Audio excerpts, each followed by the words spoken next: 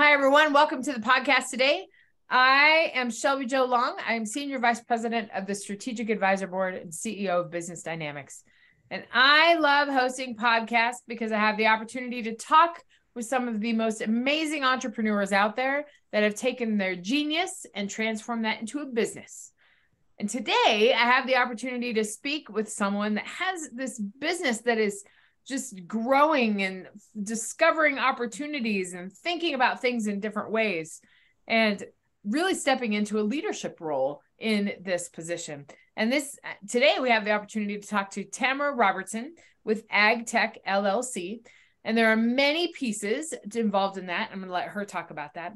But even before we get into the conversation, I'm just going to share a little bit about Tamara and I and our mutual experiences. I also grew up on a farm in central Idaho. Mm-hmm. She's out here in Montana. And there are just so many fun similarities when we have conversations. It just makes me think about home and growing up. And it's just been really fun for me to be in this project with her. And I just look forward to having discovering more about that and helping you discover more about that because there's really interesting and genius ways that we can think about what we have and how we can influence others. So, Tamara, welcome to the podcast. Thank you, Shelby. I appreciate you having me today. That's very exciting that you're here. Um, I, I could talk about this stuff all day long, but I want you, I would like you, if you could just introduce your business and your multiple arms of the business to the audience, that would be great. Yeah. So I am the founder of Ag Talk Coffee. Um, it's really a brand that is based around empowering women in rural and agricultural businesses. And it's a hope that we can influence them and show them um, how to really be um, innovative in their business and how to add income streams to their business and how to you know add leveraging techniques that will just help to grow their business. Um, that's really what ag talk coffee is about is just empowering women in agriculture like myself i um a little bit i guess about me is that i grew up in montana on a ranch and um after going off to college and doing that whole thing getting a job and you know trying to do the 9 to 5 for a long time i realized that it's really more of an entrepreneur lifestyle that I'm looking for. And um, that really led me into um, trying to discover the potential that our ranch has. And we're still in that process, of course, but um, we went through a lot of restructuring and trying to just be innovative with what we could offer and what um, that really kind of looked like we brought in um, new ways of farming on our place that have never been done before. We now um, are farming flowers actually and so yeah so we have um, flower subscriptions and we've actually introduced you know jumped into the wedding scene so we are um, bringing our fresh cut flowers to weddings. And then we also um, do different special events, um, funerals and birthdays and anniversaries and stuff. But transitioning our ranch from a more traditional, um, we grew wheat, winter wheat, spring wheat, things like that, to then um, really stopping and looking at what is it that we want out of this ranch and what can our days look like you know instead of um, going nine to five through the day and then coming home and doing the ranch thing all night long and trying to get a couple hours of sleep and maybe grab a meal in there somewhere. Um, you know we really had to stop and say this is what we want our days to look like and we need to figure out how we can make that happen. Um, and so that's really what we've been working on and transitioning um, to bring to our ranch is, you know, more of a structure that we want. We want our ranch to work for us versus us just being kind of a slave to the ranch. And now with um, Ag Talk Coffee and the Ag Talk brand, we are trying to bring that to others as well to kind of show them, you know, bring out that entrepreneurial sp- spirit to others and show them that things are possible and um, they can do it too. Sure. Absolutely. Gosh, there's a lot there to unpack. But no, yes. Point out a few things just to um, I just think there's such an amazing, like you're embracing the entrepreneurial spirit. You're trying encouraging others to be innovative. You have been innovative yourself with the flowers and the coffee and all these different income streams that you have.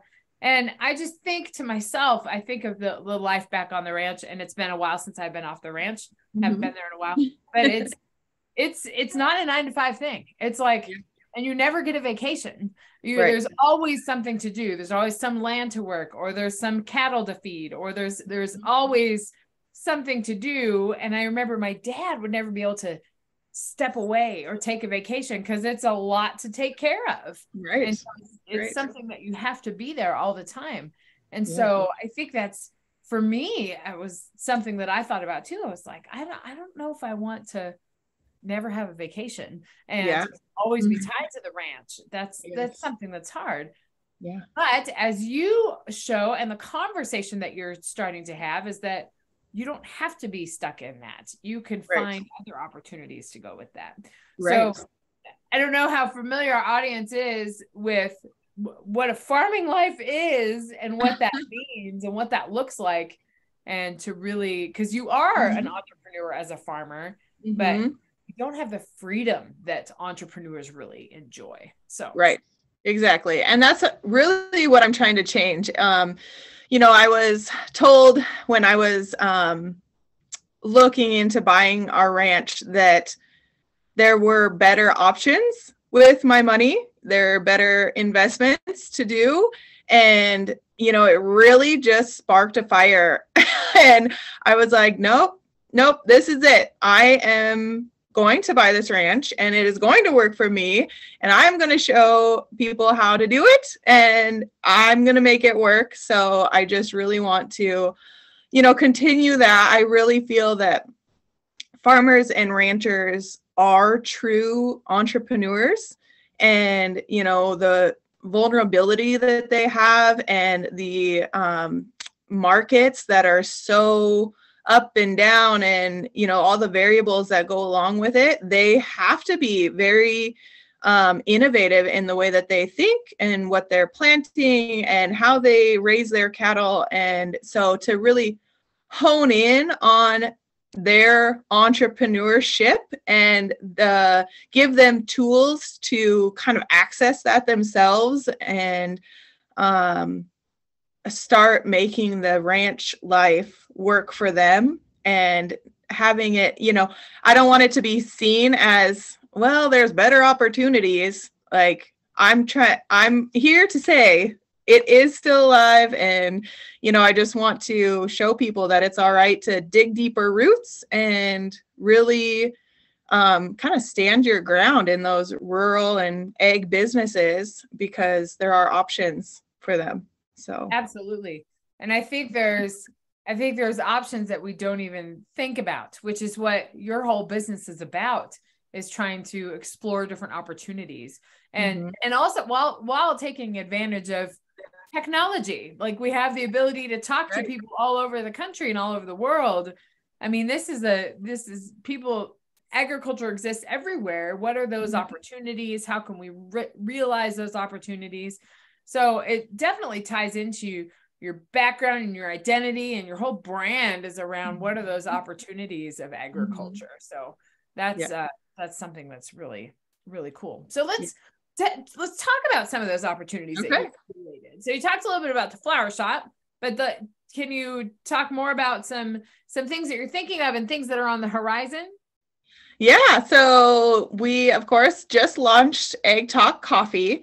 Mm-hmm. And so our high quality coffee products are available to anyone and everyone. Um, there's um, tons of options around the United States to buy coffee, but with this, you're really supporting the empowerment of women in agriculture and business. Um, you know, I kind of focus on that just because I am that. And I, you know, I see other women who are trying so hard to make it, and I just have so much passion for them and um, really really want this to be a driving you know influence to um, just continue their journey and to not be afraid of it. Um, that's really what ag talk coffee is about that.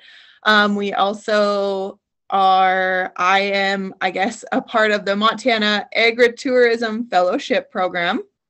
And um, agritourism is really another um, great option for people who are looking to diversify their farm or add extra income and um, look at different ways that they can use their expertise to generate revenue on their ranches or farms um, in particular because people you know they're looking for those experiences and people who maybe don't live in our setting you know they really still want access. Everybody does. And now with today's technology and stuff, we can really bring that um, to life and bring that to them.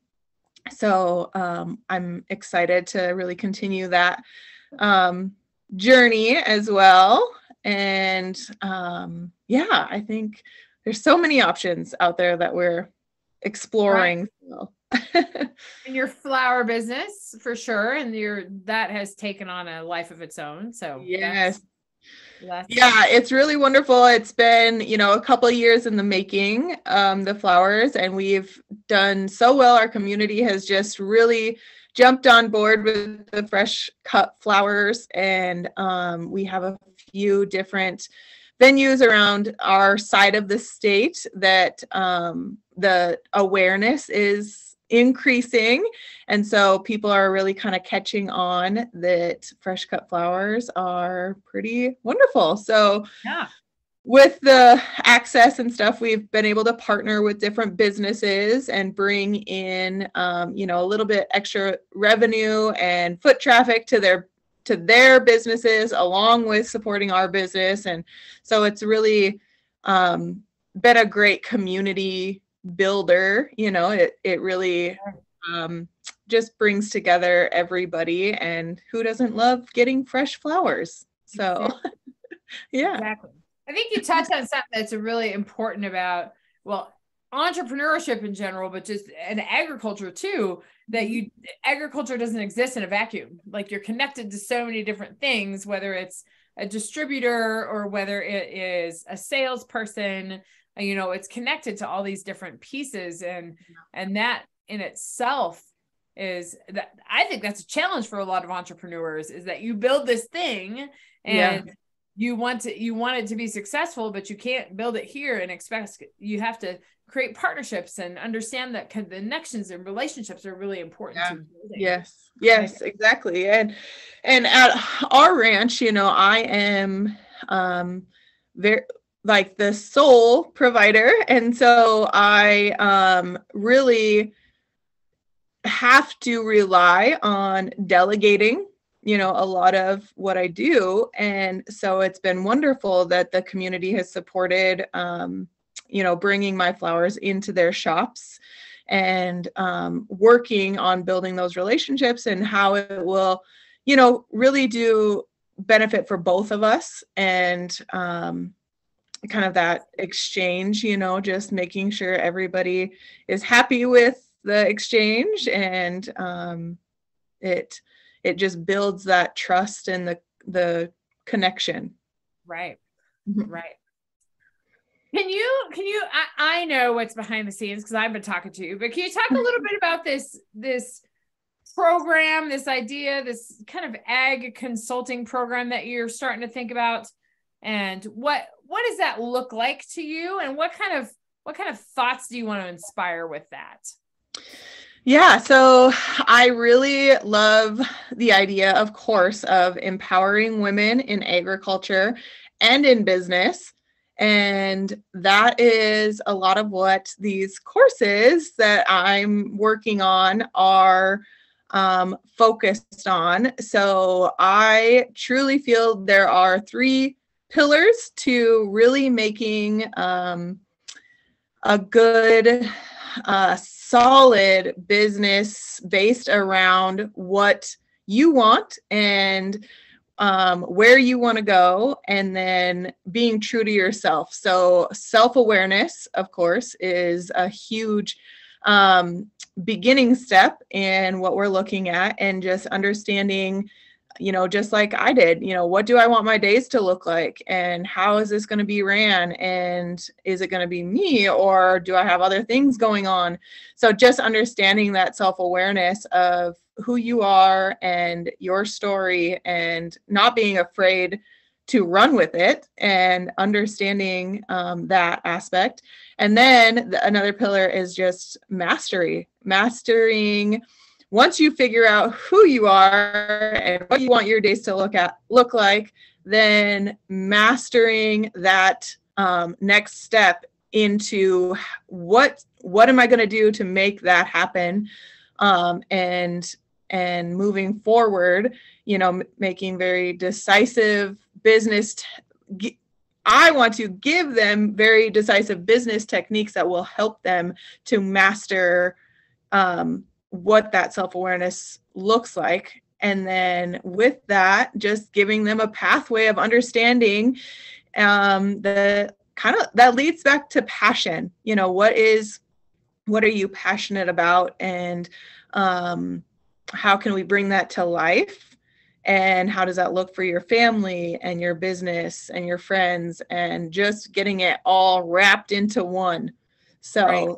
yes that's that's really the pillars of my program that I'm working on.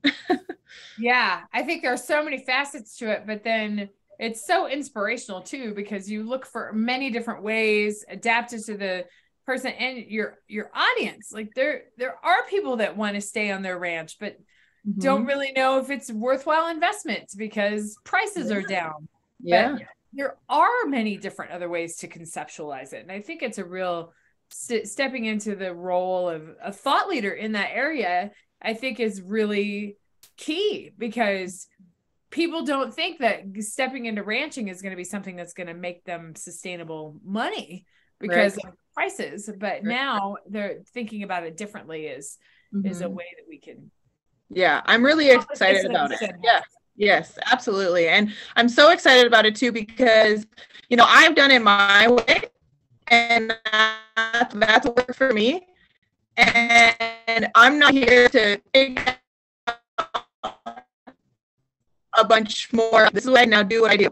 I want to really help people focus on what they want and show them the opportunities that are available and just give them the empowerment to do it Absolutely. and to you know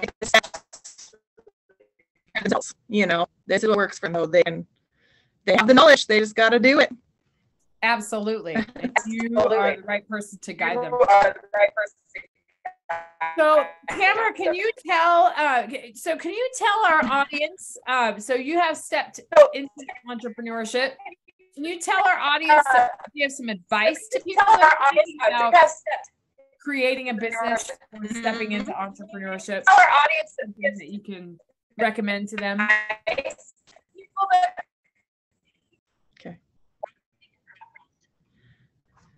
Yeah, no, I think absolutely the um, advice I would give to entrepreneurs is to not be afraid to start. Um, definitely get going. You have this idea and offer it and run with it. After that point, you can pivot and change and adjust for your market but the fact that you're nervous to start is just going to delay any success that you you know are going to find. And um, don't be afraid to fail really. You know go out there with your idea and see if it works. And if it doesn't be like okay well let's move on to the next and just keep going. That's that's really what i I encourage everyone who's, you know, looking for that entrepreneurial journey to start or even just creating a business, um, you know, just get started, implement your idea, bring it to life, and go with it from there, adjust from there, and and you won't you won't go wrong. You know you'll you'll find what you need or learn what you need to learn and everything will you know continue. So definitely don't be afraid don't be afraid and often it's just that taking that first step into it yeah. and and realizing the opportunities of it and then being in a community that's surrounded